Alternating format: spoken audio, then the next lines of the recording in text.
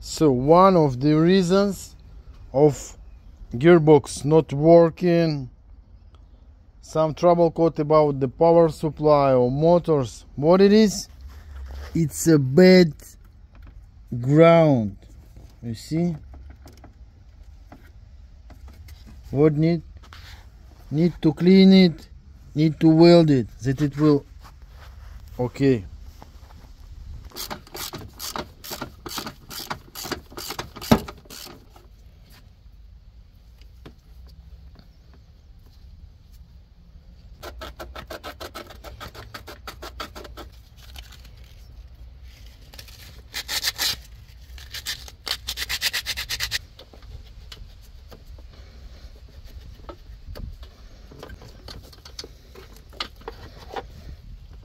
Oh.